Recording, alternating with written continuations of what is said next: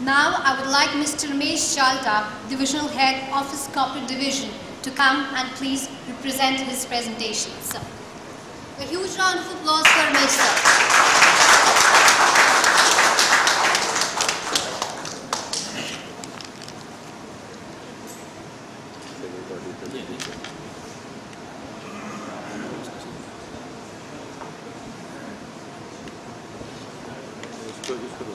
Um,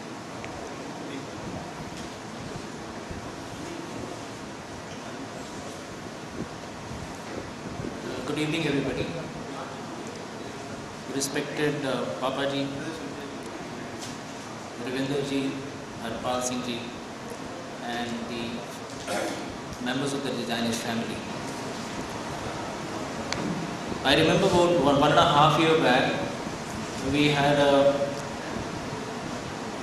a meeting in uh, the B uh, Okhla office wherein Mr. Vishal Pandit had come and he agreed to do a little talk on how to survive in tough times. And those are the times when the, the market was really crashing. And we had discovered that we were not actually prepared for those times. I remember him saying that, see, we need to write good times, we need to understand the good times, but we also need to know what our bad times are and how to write those bad times and how first to acknowledge those bad times. According to him, the, the, the market is so dynamic and I also believe that everything changes so fast. The competition changes, the focus of people change, the demands of the market change. And if we're not in tune with the market all the times, we are definitely heading for a, for a very, very bad time. About a year and a half back, we discovered that we had almost all entire whole of our business was into financial services. We had this uh, client base which was about 80% into financial services. And when this financial meltdown started, the entire group and the companies that we were dealing with, they folded up. And it was that point of time that we all of us decided that we as a group, we need to diversify. We as a group, we need to have eggs in almost all the baskets.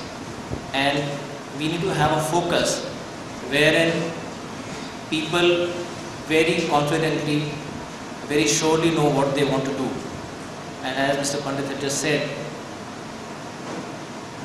if we know our goals and if we know the goals are aligned together with each individual that we have in the company, eventually we'll succeed.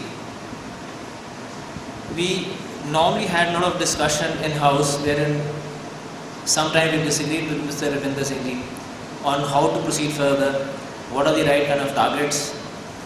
We would argue on whether those targets are feasible or not feasible. But what I agree completely with him is that in current times there is tremendous scope of improvement. There is tremendous growth which is available for all of us. And since I have been given the responsibility of exploring the possibility of growth in this office corporate division, uh, and since I have the advantage of knowing the company and the market for the last almost five years, maybe I would like to share something with you which has uh, taught all of us and me especially some very important things. I have, we started when I joined the group, uh, I was a rank outsider like uh, most of the other salespeople.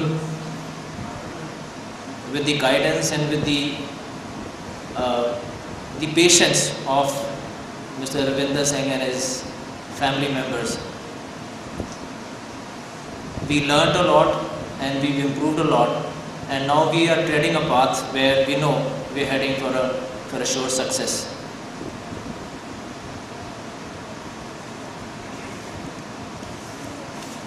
Now, uh,